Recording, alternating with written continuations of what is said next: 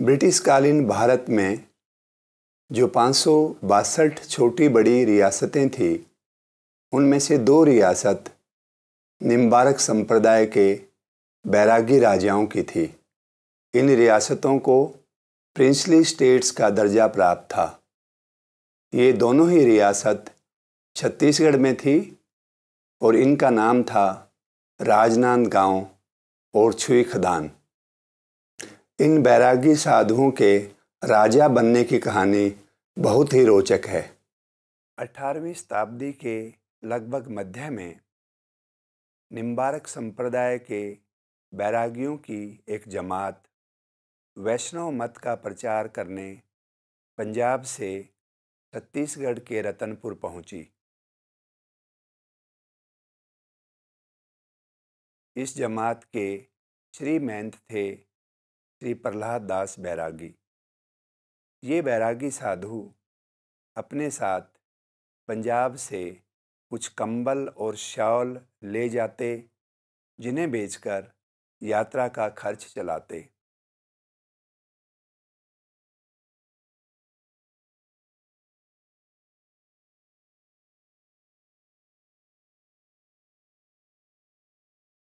इन बैरागी साधुओं ने रतनपुर के बड़े तालाब के किनारे अपनी कुटिया बनाई और राधा कृष्ण के गीतों के माध्यम से वैष्णव मत का प्रचार करने लगे। उन दिनों रतनपुर में मराठों का शासन था और बिम्बाजी भोंसले मराठों के प्रतिनिधि के रूप में शासन देखते थे। स्थानीय लोग उन्हें राजा ही कहते थे राजा बिम्बा महंत प्रहलाद दास और महंत हरिदास के संपर्क में आए और उन्हें अपना राजगुरु बना लिया। उन्होंने बैरागी संतों को पूरी रियासत में दो रुपये प्रति गाँव प्राप्त करने का अधिकार दिया।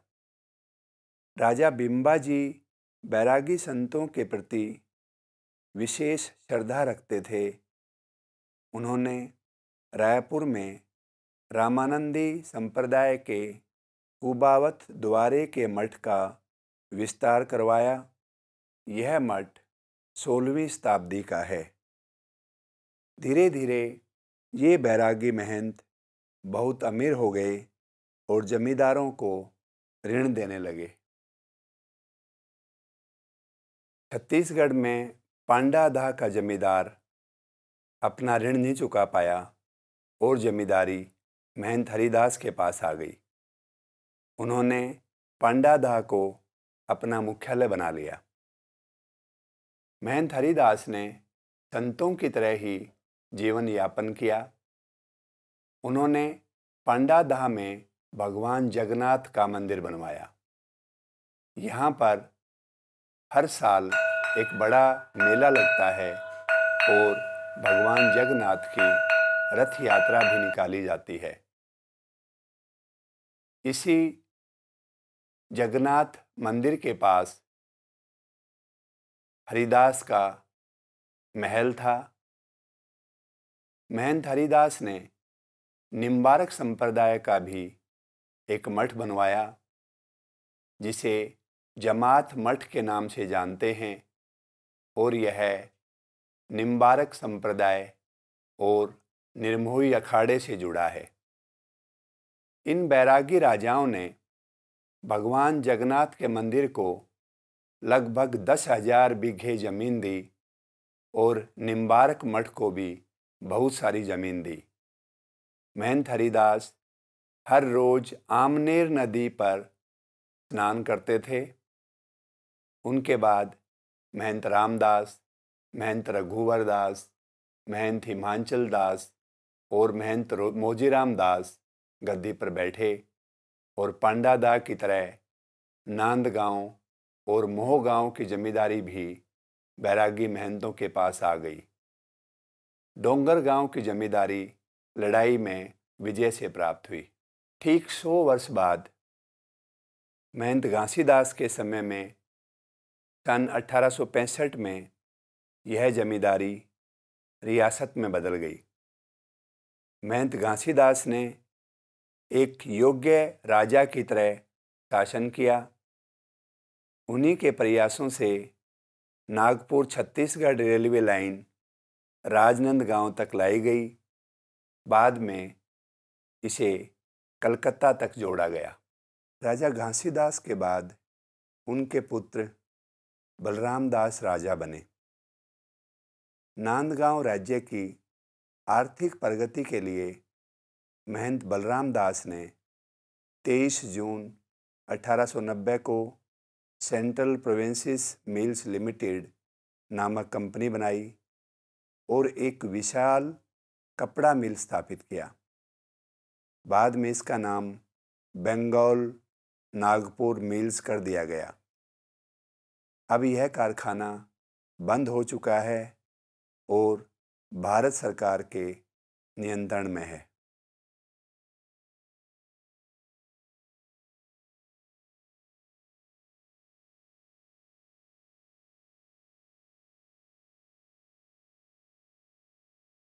खेलों के प्रोत्साहन में राजनांदगांव के बैरागी राजाओं का बहुत बड़ा योगदान था। मैन सर्वेश्वर दास, हॉकी और क्रिकेट के खिलाड़ी थे। वे हॉकी में विशेष रुचि लेते थे। उन्होंने 1936 में अखिल भारतीय हॉकी प्रतियोगिता आयोजित की, जो आज तक लगातार आयोजित की जा रही है और राजनांदगांव अंतर्राष्ट्रीय हॉकी के मानचित्र पर है। महान क्रिकेट खिलाड़ी मेजर ध्यानचंद भी राजनांदगांव की हॉकी प्रतियोगिता में भाग ले चुके हैं।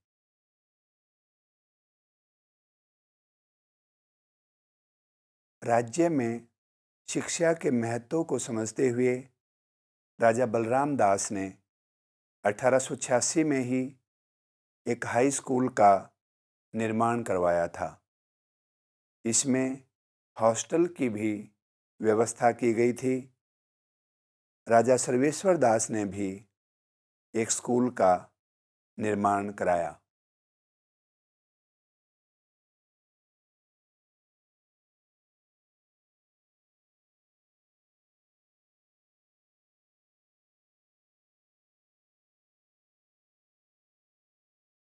आखिरी राजा महंत दिग्विजय दास ने तो राजमहल ही कॉलेज बनाने के लिए दान में दे दिया। इस तरह राजनंद गाँव के बैरागी राजाओं का शिक्षा के प्रोत्साहन में विशेष योगदान रहा है।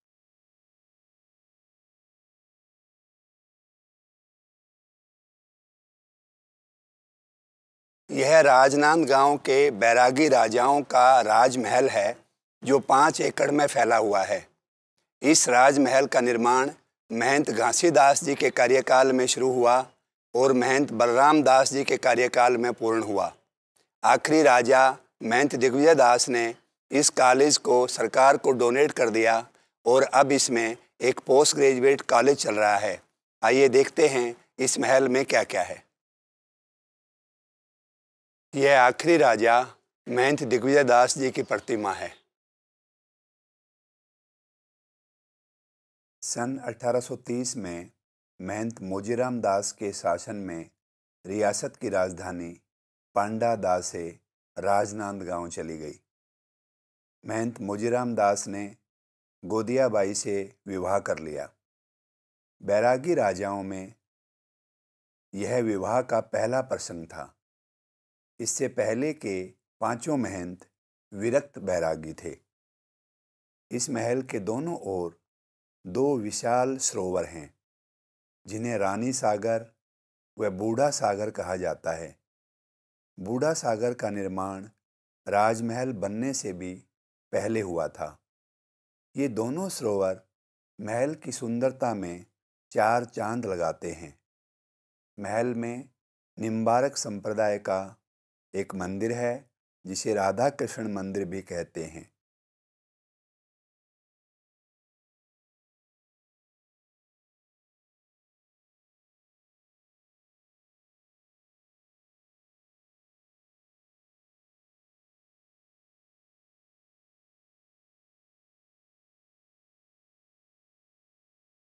जय श्री कृष्ण।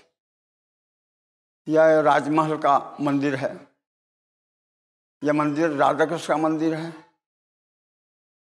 यहाँ के राजा राधा कृष्ण के उपासक थे। निम्बार संप्रदाय में राधा कृष्ण के उपासक होती हैं। यह नागा गद्दी है और राधा कृष्ण का मंदिर है। जय श्री कृष्ण।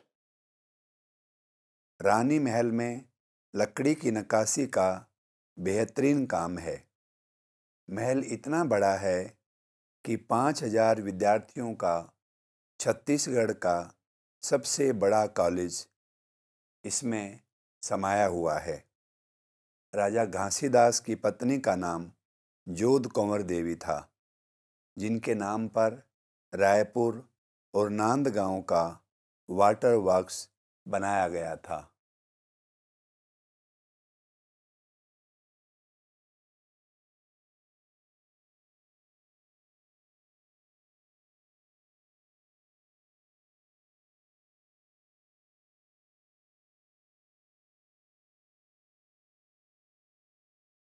राजा सर्वेश्वर दास ने अपने रहने के लिए एक अत्यंत सुंदर महल बनवाया था, जिसे लाल बाग महल कहा जाता था।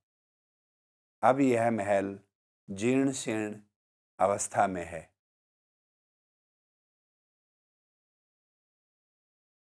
राजनांद गाँव में टाउन हॉल जैसी सुंदर इमारत का निर्माण भी बैरागी राजाओं ने कराया था। अब इस इमारत में नगर पालिका का कार्यालय है।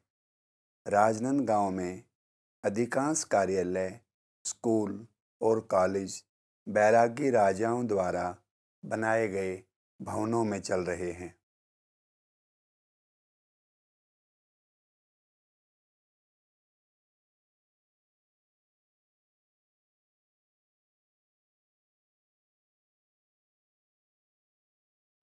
राजा बलराम दास की पत्नी का नाम रानी सूर्यमुखी देवी था, जिनका चित्र महल में आज भी है। राजा सर्वेश्वर दास का विवाह 2 मार्च 1932 को मोरभंज की राजकुमारी जयंती देवी से कलकत्ता में हुआ था। कलकत्ता के एक समाचार पत्र ने इस विवाह की रिपोर्टिंग की थी, जो आज भी उपलब्ध है। समाचार पत्र ने राजा सर्वेश्वर दास को एक लिबरल और प्रोग्रेसिव रूलर बताया है। वे बैरागी संप्रदाय के मुखिया भी थे। विवाह के निमंत्रण पत्र में श्री कृष्ण जी का बांसुरी वाला चित्र छपा है। विवाह के कार्यक्रम 22 दिन तक चले थे। 1 जनवरी 1948 को इस रियासत का भारत में विलय हो गया।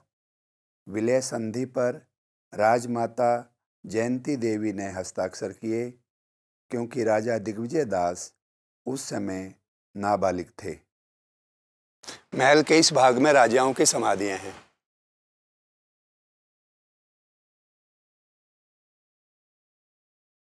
लेकिन राजा घासीदास की समाधि पांडादा में है, उनकी इच्छा थी कि उनकी समाधि, उनके पूर्वजों की समाधि के पास ही बनाई जाए। राजनंद गाँव के बैरागी राजाओं के चरित्र में त्याग और कृष्ण भक्ति की भावना साफ़ झलकती है।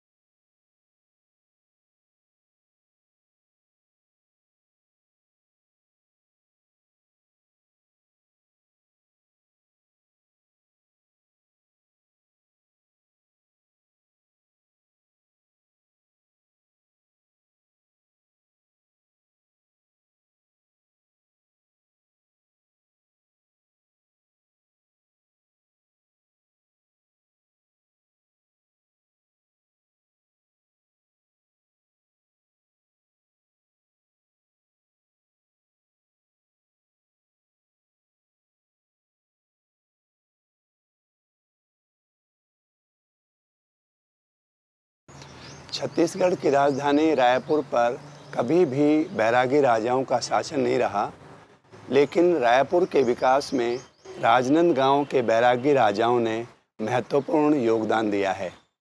रायपुर के बिल्कुल मध्य में स्थित राजभवन के बगल में महंते घासीदास मेमोरियल संग्रहालय उनमें से एक है। इसके अतिरिक्त छत्तीसगढ़ में प्रसिद्ध राजकुमार कॉलेज का एक बड़ा हिस्सा महंत सर्वेश्वर दास पुस्तकालय, रानी कुंवरबाई वाटर वाक से तथा सिल्वर जुबली हॉस्पिटल उन विकास कार्यों में से एक हैं जो राजनंदगांव के बैरागी राजाओं ने रायपुर के लिए किए। महंत घासीदास संग्रहालय छत्तीसगढ़ की सांस्कृतिक विरासत को संजोए रखने के लिए 1875 में महंत घासीदास द्वारा बनवाया गया था। इस संग्रहालय का उन्नीस में महंत घासीदास के पोत्रे राजा दिग्विजय दास और राजमाता जयंती बाई द्वारा पुनर्निर्माण कराया गया तथा इसे मार्च उन्नीस सौ तिरपन में तत्कालीन राष्ट्रपति डॉक्टर राजेंद्र प्रसाद के कर कमलों से उद्घाटित किया गया। देखिए इस संग्रहालय में क्या है।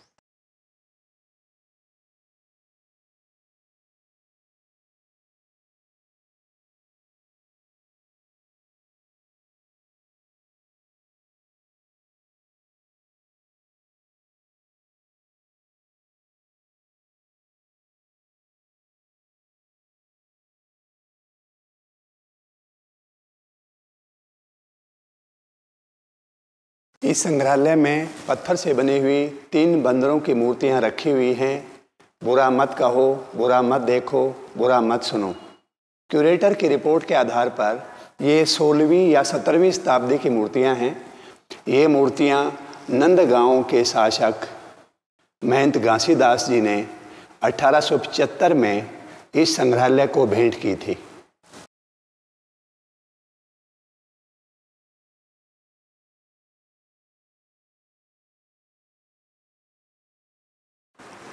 विष्णु भगवान की कई तरह की मूर्तियाँ इस संग्रहालय में रखी हुई हैं। इसके अतिरिक्त शिवजी की मूर्ति भी इस संग्रहालय में है।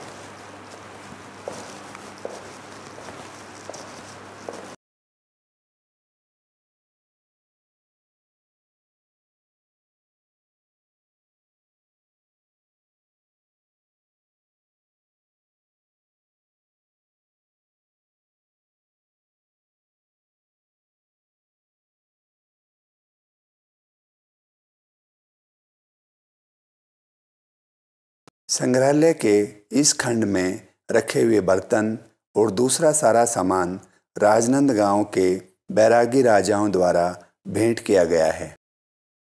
संग्रहालय के इस खंड में नंदगांव की सेना द्वारा प्रयोग किए गए हथियार रखे गए हैं, जिसमें तलवार, ढाल परशु भाले और बंदूक शामिल है।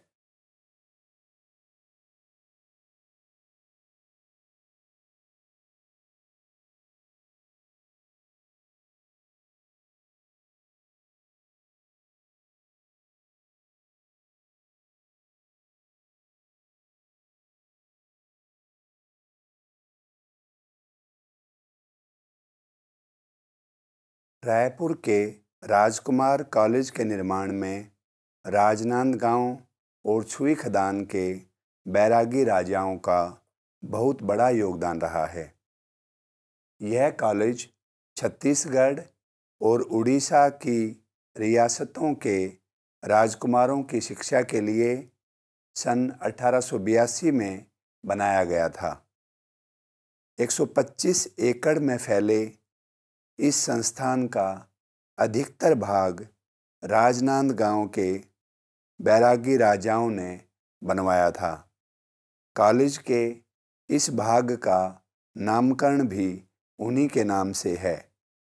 अठारह सौ बयासी के बाद राजनांदगांव और छुई खदान के सभी राजकुमारों की शिक्षा इसी कॉलेज में हुई।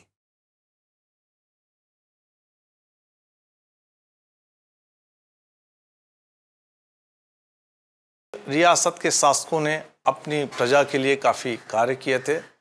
राजनांदगांव की बात करते हैं तो राजा बलराम दास के द्वारा यहाँ पर बी एन सी मिल्स की स्थापना की गई थी, जो इस बात की ओर इंगित करती है कि वो किस प्रकार से अपनी प्रजा के आर्थिक हितों का ख्याल रखते थे। महंत सर्वेश्वर दास काफ़ी खेल के प्रति रुचि रखते थे। हॉकी को बढ़ावा देने के लिए उन्होंने यहाँ पर अखिल भारतीय हॉकी प्रतियोगिता उनके नाम से यहाँ खेली जाती है। इस राजनांदगांव की जनता के लिए काफ़ी गर्व की बात थी कि हॉकी के जादूगर मेजर ध्यानचंद ने भी अपने खेल कला का प्रदर्शन यहाँ पर किया था। राजनांदगांव रियासत के अंतिम शासक महंत दिग्विजय दास थे। इन्होंने उच्च शिक्षा को बढ़ावा देने के लिए किला ही महाविद्यालय के लिए दान में दे दिया था।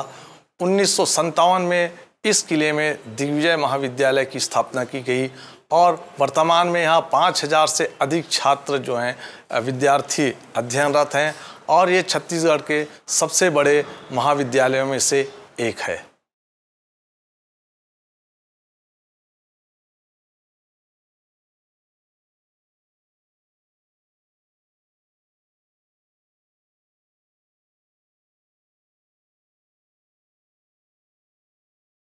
बैरागी राजाओं की दूसरी रियासत थी छुई खदान। छुई खदान छत्तीसगढ़ की राजधानी रायपुर से करीब 90 किलोमीटर की दूरी पर है।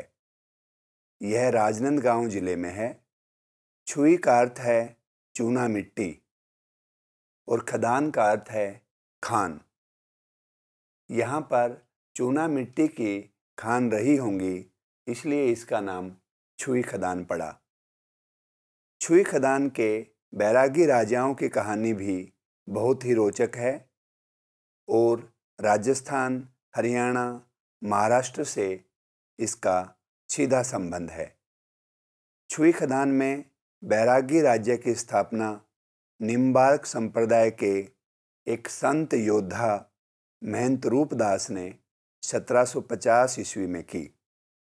महंत रूपदास का महान योद्धा वीर बंदा बैरागी से घनिष्ठ संबंध था। महंत रूपदास का जन्म राजस्थान के उदयपुर के राज परिवार में हुआ, लेकिन उन्होंने बचपन में ही घर छोड़ दिया और केवल 11 वर्ष की आयु में सन 1708 में दिल्ली के पश्चिम की ओर लगभग 50 किलोमीटर की दूरी पर शेरी खांडा गाँव में महंत किशोर दास जी के डेरे पर निम्बारक बैरागी की दीक्षा ली।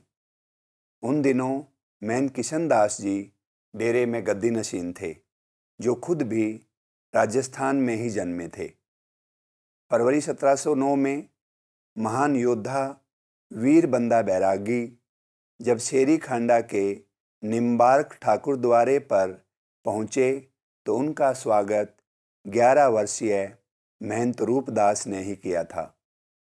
जब बंदा बैरागी ने लगभग नौ माह तक छेरी खंडा में अपनी सेना का गठन किया तो रूपदास ने भी हथियारों का प्रशिक्षण प्राप्त कर लिया। नवंबर 1709 में बंदा बैरागी जब समाणा युद्ध के लिए छेरी खंडा से चले तो उन्होंने रूपदास को मराठों के पास नागपुर भेज दिया, जो उनके पहले से ही परिचित थे। इस तरह महंत रूपदास मराठों की सेना में एक कुशल योद्धा हो गए। कुछ वर्षों बाद वे मराठा सेना के सरदार नियुक्त हुए। उन्होंने बंगाल व उड़ीसा की चढ़ाई में राजा साहब नागपुर तथा उनके सेनापति भास्कर पंडित के साथ रहकर कई लड़ाइयों में बड़ी वीरता दिखाई।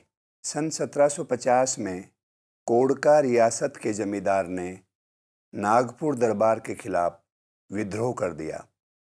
इस विद्रोह को दबाने के लिए नागपुर के मराठा राजा भोंसले ने महंत रूपदास को भेजा। कोड़का का जमींदार लड़ाई में मारा गया और राजा भोंसले ने प्रसन्न होकर महंत रूपदास को कोड़का रियासत का जागीरदार नियुक्त किया। महंत रूपदास जी शिक्षित, वीर योद्धा और संत प्रवृत्ति के थे।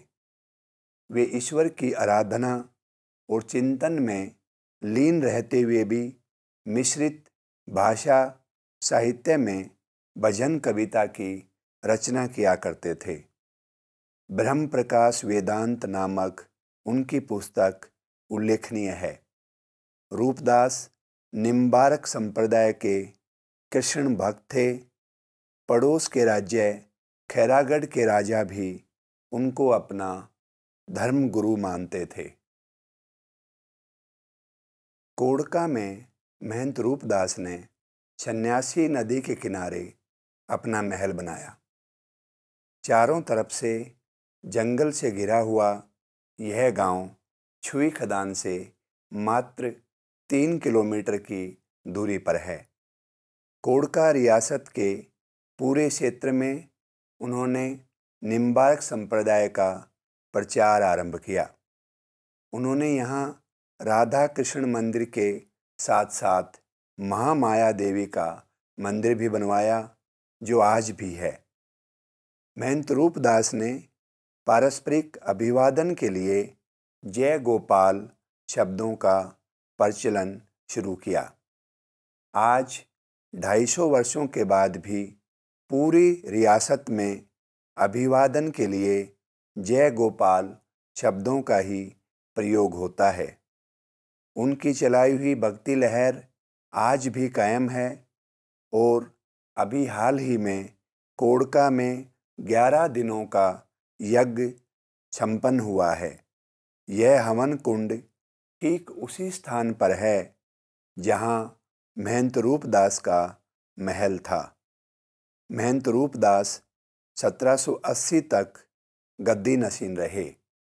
उनके बाद महंत तुलसीदास, महंत बाल दास और महंत लक्ष्मण दास गद्दी नशीन हुए। महंत रूपदास के बाद के राजाओं ने अपना निवास छुई खदान ही रखा और कोड़का निवास को छोड़। महंत लक्ष्मण दास शादीशुदा थे। उनके काल को छुई खदान रियासत का स्वर्ण युग कहा जाता है।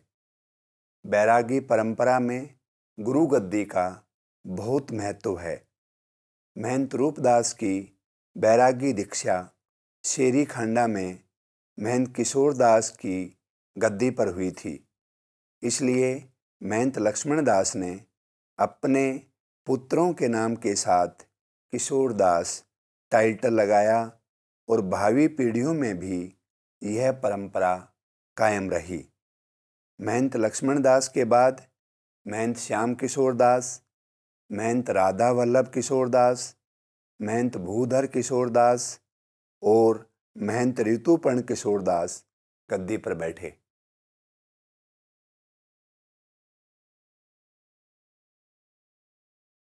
छुई खदान के बैरागी राजाओं ने जन कल्याण के बहुत कार्य किए।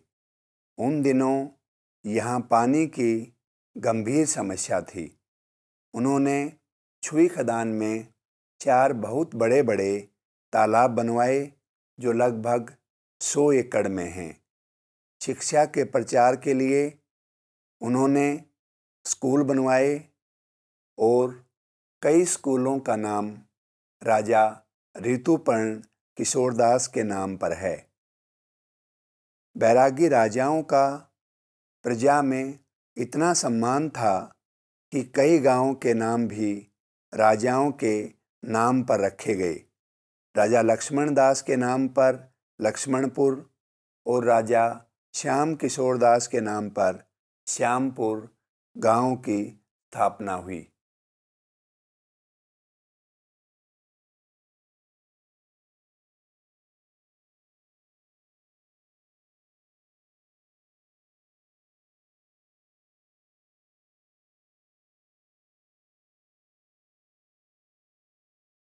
धर्म के प्रचार और ईश्वर की उपासना हेतु उन्होंने अनेक मंदिर बनवाए।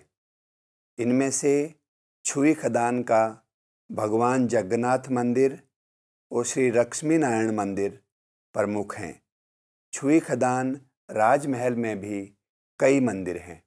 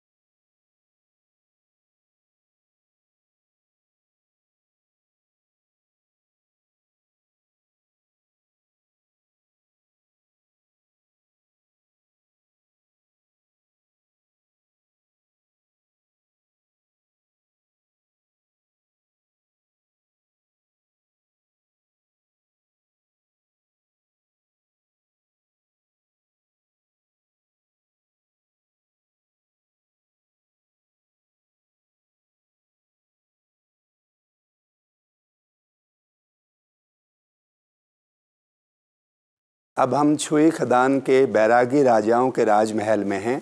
यह महल पाँच एकड़ में है, इसके कई भाग हैं और आज भी यह अच्छी स्थिति में है।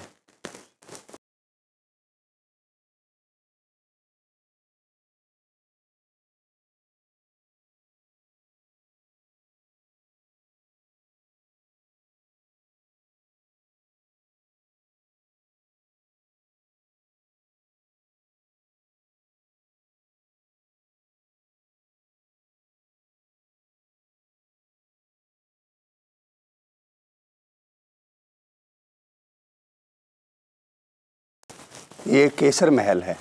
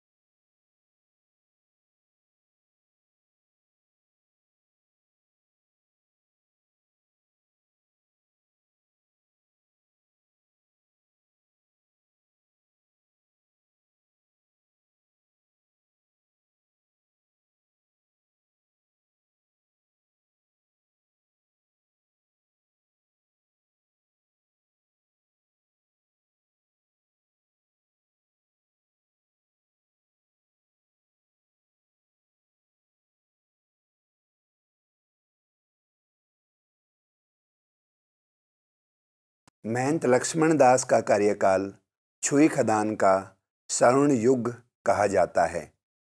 वे बयालीस वर्षों तक राजा रहे। उनके कार्यकाल में दो बार भीषण अकाल पड़ा। उन्होंने प्रजा के लिए अन्न के भंडार खोल दिए। भक्ति साहित्य में छुई खदान के बैरागी राजाओं का महत्वपूर्ण योगदान रहा। महंत बाल दास ने श्री निम्बार्क मत प्रकाश की रचना की।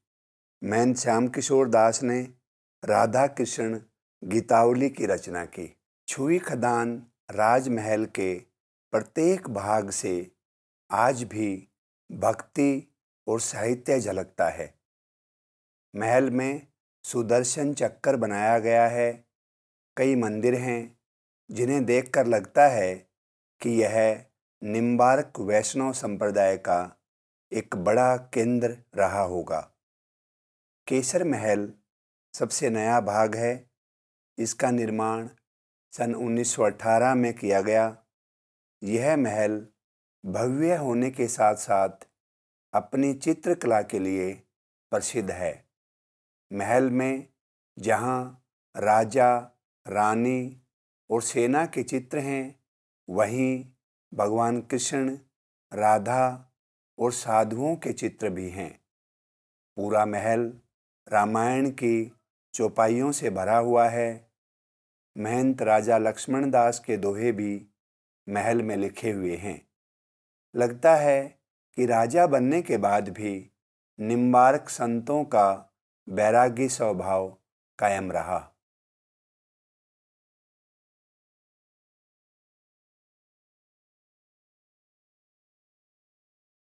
राजाओं की शादियाँ राज परिवारों में ही हुई हैं।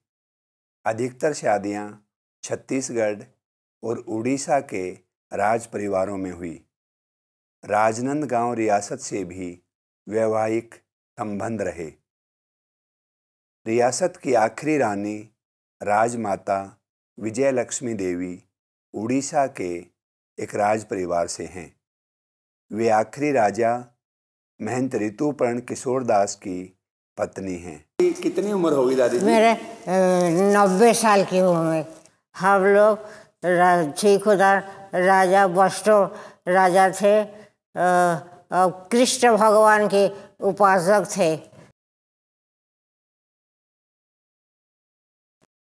राजा महंत भुदर किशोर दास जी बैरागी अखाड़ों से उनका बहुत मधुर संबंध रहा था। 1935 में उनको अखाड़ों के द्वारा वैष्णव भूषण की उपाधि से नवाजा गया था। साधु संतों को वो बहुत ज़्यादा दान पुण्य किया करते थे। अपने कार्यकाल में उन्होंने बहुत सारे राधा कृष्ण जी के मंदिर बनवाए हैं और जिस मंदिर के सामने हम खड़े हैं, इस मंदिर में वो रोज नहाने के बाद एक दोहा राधा कृष्ण जी को समर्पित करते थे। वो राजा ज़रूर थे, मगर उनकी दिनचर्या एक संत की थी। सभी राजाओं ने उच्च शिक्षा प्राप्त की हुई थी। राजा भूधर किशोर दास और राजा ऋतुपर्ण किशोर दास की शिक्षा रायपुर के राजकुमार कॉलेज में हुई। छुई खदान के बैरागी राजाओं के कार्यकाल में अनेक विकास कार्य हुए। महंत भूधर किशोर दास की बड़ी उपलब्धि यह रही कि छत्तीसगढ़ में पहली बार बिजली छुई खदान में लगी। राजा ऋतुपर्ण किशोर दास जनता में बहुत लोकप्रिय रहे। एक जनवरी उन्नीस सौ अड़तालीस को इस रियासत का भारत में विलय हो गया। विलय की संधि में राजा ऋतुपर्ण किशोर दास ने हस्ताक्षर किए। वे दो बार मध्य प्रदेश विधानसभा के सदस्य रहे। छुई खदान के राजा, शुद्ध शाकाहारी और संत प्रवृत्ति के रहे और यह परंपरा उनके वंशजों ने भी कायम रखी है।